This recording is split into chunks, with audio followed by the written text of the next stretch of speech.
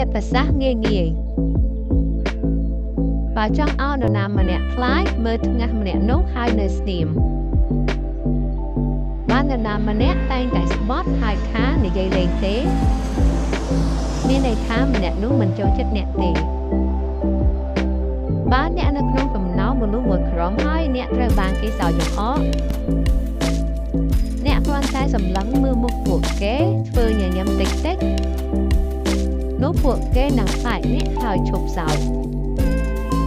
បើអ្នកខ្សឹបប្រាប់នរណាម្នាក់អំពីរឿងអ្វីមួយពី9ទៅ10ដង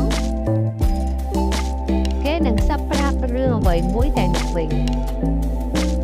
បើអ្នកចង់ឲ្យនរណាម្នាក់និយាយការពិតប្រាប់អ្នកអ្នកត្រូវធ្វើឲ្យគេសើចមុនសិនចាំសួរតាមក្រោយបើអ្នកគិតថានរណាម្នាក់កំពុងមើលមុខអ្នកតែមិនដឹងថាម្នាក់ណា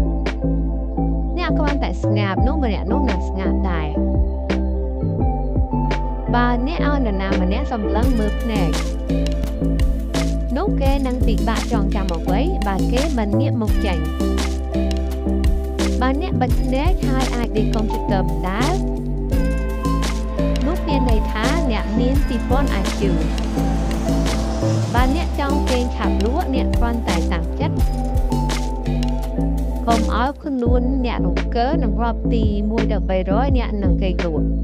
មកនរណាម្នាក់និយាយការសម្ដែងអ្នកពេលអ្នកកំពុងនិយាយអ្នកមិនចាំបាច់ឈប់និយាយទេនោះគេនឹងមានអារម្មណ៍បើឈួតហើយគិតថាអ្នកគឺជាមនុស្សមានអំណាច